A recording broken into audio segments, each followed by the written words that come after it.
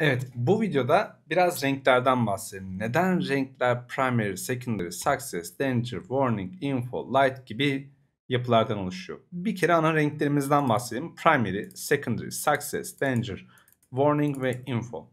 1, 2, 3, 4, 5, 6. Peki şuraya bakalım. Evet 6 tane varmış. Şimdi şunu unutmamanız lazım arkadaşlar. Buradaki success aslında bir tepki. Yani siz artık okurken yeşil diye değil de yani burada bir tepkiyi söylüyorsunuz. Veyahut da warning uyarı değil de aslında burada sarı olarak diye düşünmeyin. Biz uyarı yaptığımızı söylüyoruz. Peki bu ne anlama geliyor? Aslında baktığımız zaman buradaki renkler artık yaptığı işleve göre renklendirilmiş. Yani bir uyarı diye renklendirilmiş veyahut da başarılı diye renklendirilmiş veyahut da dikkat diye renklendirilmiş. Veyahut da birinci renk ikinci renk diye renklendirilmiş. Yani siz artık Bootstrap'te çalışırken şöyle düşünüyorsunuz. Hmm, bir firmanın acaba marka rengi yeşil miydi, koyu yeşil miydi, açık yeşil miydi de değil de primary rengi siz atama yapıyorsunuz ve diyorsunuz ki koyu yeşil olsun, açık yeşil olsun. Artık bu primary rengini seçtiğiniz zaman temasını oluşturduktan sonra hep siz halen primary kullanıyorsunuz. Peki neden primary ve secondary renkler var? Primary demek bir markanın birinci rengi demek. Secondary de bir markanın ikinci rengi. Yani markalar genellikle iki veya da üç tane renk kullanıyorlar. Genellikle de ikidir. Ve bu şekilde baktığımız zaman da artık biz yapıları daha net bir şekilde algılayabiliyoruz ve aslında kullandığımız parametrik bilgiler hiç değişmiyor. Yani class bilgileri hiç değişmiyor.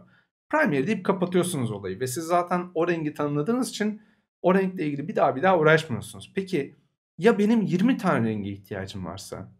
Bir dakika. 20 tane renge ihtiyacın varsa bir şeyler yanlıştır. Tamam. Yani eğer bir sitede 20 tane renk kullanıyorsan ve 20 tane rengi kullanıcının algılayıp bu 20 tane renk seçeneğine göre bir işlemi yapmasını istiyorsan bir şeyler çok fazladır.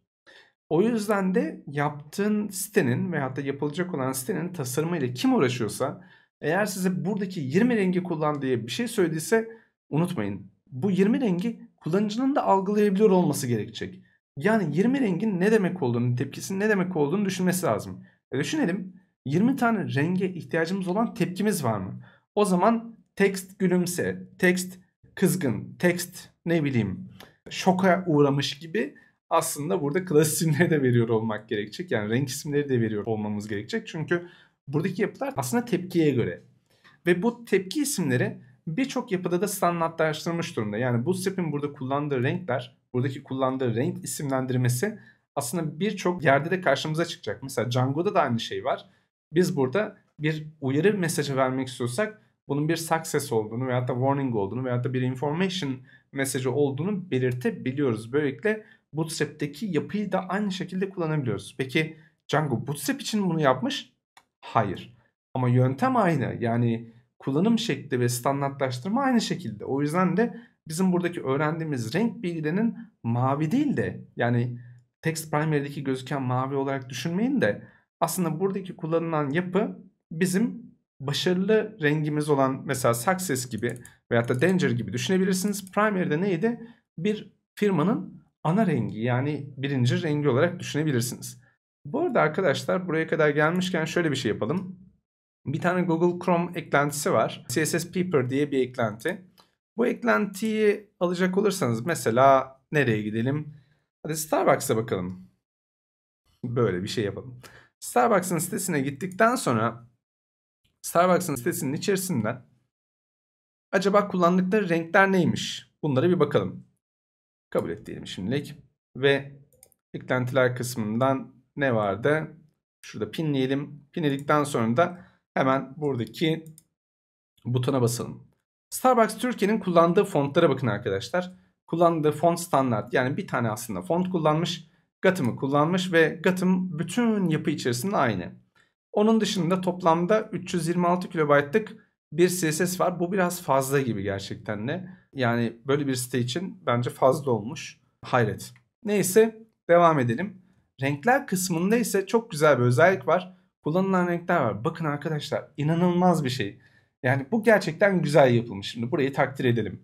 Kaç tane renk kullandığını görüyorsunuz. Yani neredeyse buradaki renkler de aslında belli bir algı yaratmak için kullanılmış. Baktığımız zaman bir firmanın yani Starbucks firmasının rengi olan yeşil var. Onun dışında siyah var veyahut da siyahın tonları var ve aynı zamanda beyaz var. Bu kadar. Kullanılan renkler bu. O yüzden de bütün her yerde bu renk uyumunu yakaladıktan sonra siz mesela firmanın yapısını çok çok çok iyi bir şekilde algılayabiliyorsunuz. Burada assets kısmında ise kullandıkları bütün buradaki görseller nelerse bunların hepsini görebiliyorsunuz. Hatta ve hatta hepsini tek seferde export edebiliyorsunuz. Peki bu sizin ne işinize yarar? Mesela bir demo site yapacaksınız. O demo siteleri birebir Starbucks'ın sitesi gibi bir yapı kurgulamak isterseniz yine buradaki bilgileri alabilirsiniz. Bu yine güzel ama bizim tabii ki bakmaya çalıştığımız şey kullanılan renkler. Yani kaç tane renk kullanmış? Neredeyse hiç renk kullanmamış arkadaşlar. Peki Bootstrap'te nasıl bu iş diye bakacak olursak Bootstrap tabii ki bütün şemayı CSS'in içerisinde tuttuğu için Bootstrap'in sitesinden biz renklere baktığımız zaman burada deli gibi renk seçenekleri varmış gibi görsek de aslında burada tabii ki kendi temasının içerisinde olan renkler var. Bizim dikkat etmemiz gereken renk standartları ise burada yazıyor. Peki text primary ne? Yani bir yazının primary renkte olması, bir yazının secondary renkte olması gibi düşünebilirsiniz. Aynı şekilde buradaki primary bilgisi, secondary bilgisi her yerde aynı. Mesela background'da kullanacaksınız BG diye eklemeniz yeterli text yerine. Bunun dışında da yine aynı şekilde mesela butonlarda kullanacaksınız da şuradan bulalım butonları. Butonlarda da yine aynı şekilde arkadaşlar. Bütün renkler hep aslında görevine göre yapıldığından dolayı siz artık renk bilgisiyle uğraşmıyorsunuz. Ve şuradaki introduction kısmından bu arada şu şeyi göstereyim çok tatlı. Mesela Bootstrap'i CodePen üzerinde denemek isterseniz hemen burada tıklayıp deneyebilirsiniz. Ve burada bir tane buton varmış mesela. Buradaki butona gelelim. Ve bunu info yapalım. Info. Hadi. info yapalım ve info butonumuzu direkt olarak yaptık ve artık gördüğünüz gibi bilgileri oluşturabiliyoruz. Veyahut da success diye yapabiliriz. Böylelikle success butonumuzu oluşturabiliriz. Veyahut da outline success diyelim. Böyle olması gerekiyordu. Umarım yanlış yazmamışımdır. Evet outline success deyip gördüğünüz gibi outline success olarak bir buton oluşturabiliriz. İşte bunu biliyor olmak bize ne kazandırıyor? Mesela şuradaki H2 yazısının yanına text tre primary deyip artık bunun da mavi olması gerektiğini yani daha doğrusu birinci renk olması gerektiğini söyleyebiliyoruz. Yani mavi gibi düşünmeyelim de birinci renk gibi düşünelim.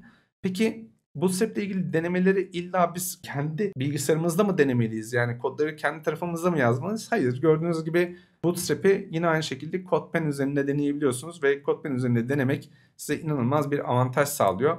Buradaki ayarlar kısmına baktığımız zaman da aslında CodePen'de de gördüğünüz gibi CD'nin üzerinden yüklenmiş versiyonlarını da yine görüntüleyebiliyorsunuz. CodePen'de yine denemeler yapmak için böyle ufak ufak kendinizi geliştirmek için kullanabileceğiniz inanılmaz güzel bir site. Aynı zamanda da deli gibi bir tabii ki başkalarının yaptığı bir havuz var ve bu havuzun içerisine gidip bakıp CodePen'in içerisinde neler olduğuna bakabilirsiniz ki daha önce ben CodePen'i önerdim veyahut da söyledim diye hatırlıyorum. Mesela CSS diye arattığınız zaman CSS ile birlikte yapılmış bir sürü pen göreceksiniz. Yani bir sürü ufak çalışma görebilirsiniz.